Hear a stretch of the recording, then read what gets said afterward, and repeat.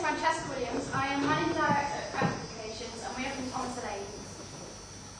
Uh, to begin with, I'm going to talk to you about objectives. Uh, clearly, our first was to make an innovative product through which we have found a niche market in order for successful marketing and to make a profit for our shareholders. Secondly, we felt learning from the experience and gaining a business acumen were extremely important in order to succeed. Because none of, many of us had taken business studies at GCSE, it was not an easy ride, but we do now feel we have not only learned business skills. Our, all of our objectives were reflected in the mission statement. So, teamwork. To start with, we didn't cooperate very well as a team at all due to having such a large and diverse group. We lacked in communication and effort. However, after several weeks, the people unwilling to do anything either left on their own behalf, and the others, all they're not so much part of the team anymore. From then on, we swapped emails and numbers with each other so we could easily communicate. Really good, despite receiving text from certain someone at 7 o'clock in the morning. However, this did mean we got an awful lot done. Then split small groups of different speciality. There was creative, production, finance, and marketing sales. This worked particularly well as people allocated to each group were done so through their own personal strengths. This allowed everyone to develop and build further skills and also achieve their full potential in the team. Within these groupings were directors and deputy directors. This allowed people to develop and improve their own personal leadership qualities. The specific groupings also meant everyone could and did do something without being overwhelmed under pressure. This kept morale high in the group, as everyone was happy with what they were doing and achieving. So therefore, through working as a team, it's how we've got this point today. Young Enterprise has been a very interesting experience as we have both applied and learned new skills. As Stephen just mentioned, the teams we were placed in meant we learned more in particular areas, but through the website and Tuesday night meetings, we also communicated and learned from the business as a whole. Teamwork is something we weren't fantastic at to start with, but the through the trade fair period, this brought us together, and we feel this is much improved now. We have slowly begun to understand the running of a business, though this has not always been easy. We feel that despite the ups and downs, it has certainly been worthwhile. Lastly, we believe that problem solving in business is a real skill, and this is something Adam will discuss later. Okay, product development. We started this out by collecting ideas of the whole group together.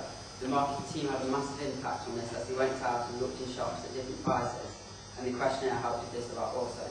The materials we decided to use were recycled wood as this had an environmental friendly impact on our product. We continued with prototypes, such as circular and rectangular shapes which included templates of football stars and robots to go on top of them. We came up with a final design of a rectangular shape, as this is easy to produce in a large amount. We expanded on our product with different themes such as Valentine's and Christmas, but, and we used the ones that we didn't sell, going to cut down on waste for other different packs. Here are some pictures of our development of our product from start to.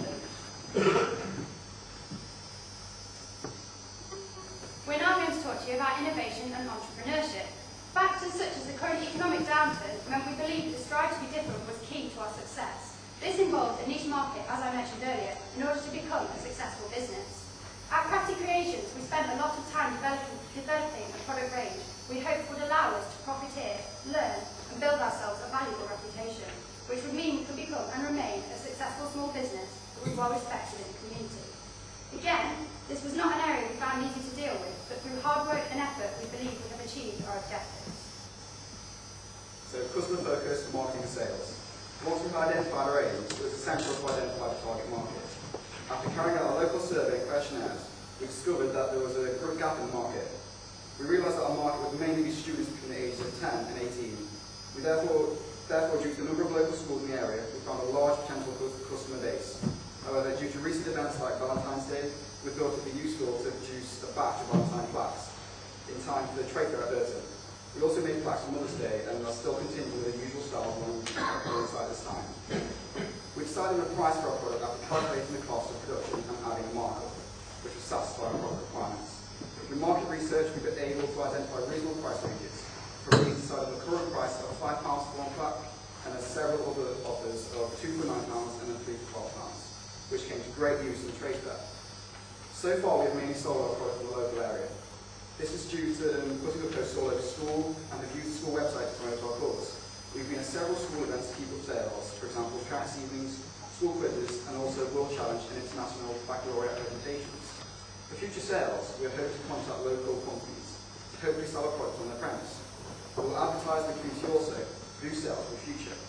We have received good feedback, feedback from a lot of the customers who have said that handcrafted styles were done start with a professional finish and great for their tours. From receiving such good feedback, the team realised that all our hard efforts have paid off. Communications. Within Craft Creations, we believe communication with fellow members in, in, in the business is a key element to help the company become as efficient and successful as possible.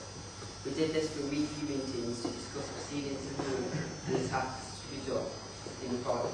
The website helped a lot within communication as we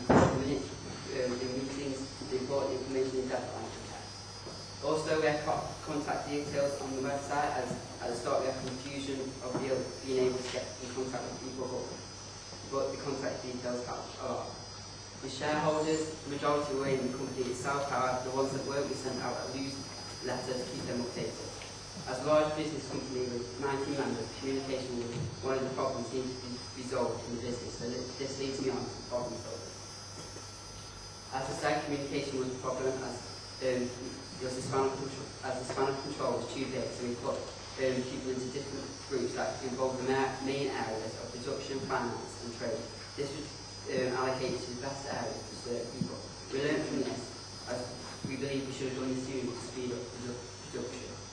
We also have problems with management structure as previous MD designed, designed for commitments. However, Cheska Williams took over and brought enthusiasm and motivation into our team. Also, we had problems with, with uh, attendance at stages.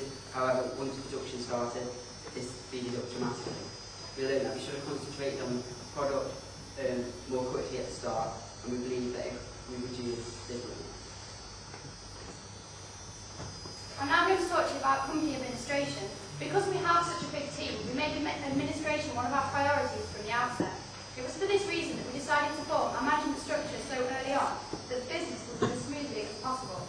The specialist team proved to be extremely beneficial, as this meant the entire business was more efficient, but also communication grew stronger because the groups became started to become interdependent. Lastly, minutes were published weekly on the website after the Tuesday meets so that everyone knew exactly what was happening and what tasks they needed to complete for the next time. Financial systems and results. We were lucky to have a strong financial group from the outset as a business. We held a shares invested amount of £95. We have recently passed and achieved our projected sales targets. We made an effort to minimise our costs by shopping around and buying the best quality materials at the minimum price. We were pleased with trade fair sales of £105. These are financial results,